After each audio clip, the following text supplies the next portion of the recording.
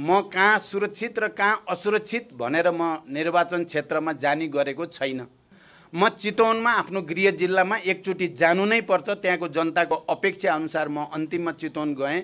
गोर्खाको पार्टी र त्यहाँको साथीहरूले मलाई गोर्खा आउन त भनिरहनुहुन्थ्यो।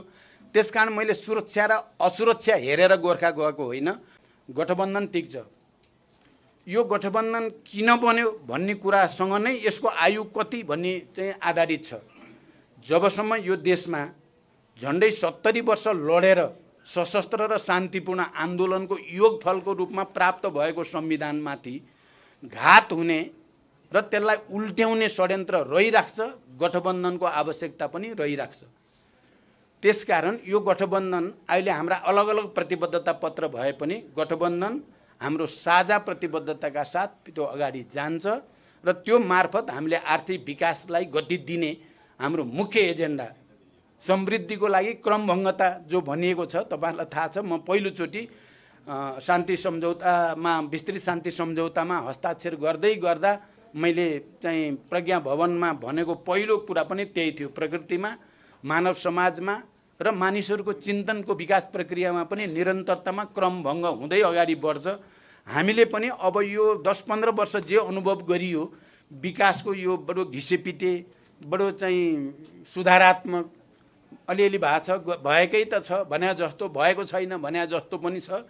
त्यो स्थितिको अन्त अब सामान्य रूपले हुँदैन क्रम भङ्ग गरेरै गर्नुपर्छ अलिक ठुलै धक्का दिएर गर्नुपर्छ भनेर भनिएको छ।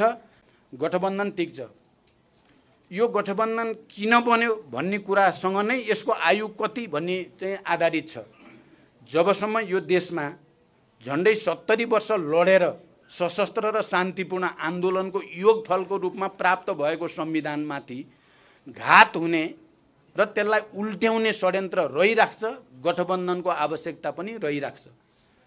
त्यसकारण यो गठबन्धन अहिले हाम्रा अलग अलग प्रतिबद्धता पत्र भए पनि गठबन्धन हाम्रो साझा प्रतिबद्धताका साथ त्यो अगाडि जान्छ र त्यो मार्फत हामीले आर्थिक विकासलाई गति दिने हाम्रो मुख्य एजेन्डा समृद्धिको लागि क्रमभङ्गता जो भनिएको छ तपाईँहरूलाई थाहा छ म पहिलोचोटि शान्ति सम्झौतामा विस्तृत शान्ति सम्झौतामा हस्ताक्षर गर्दै गर्दा मैले चाहिँ प्रज्ञा भवनमा भनेको पहिलो कुरा पनि त्यही थियो। प्रकृतिमा मानव समाजमा र मानिसहरूको चिन्तनको विकास प्रक्रियामा पनि निरन्तरतामा क्रमभङ्ग हुँदै अगाडि बढ्छ।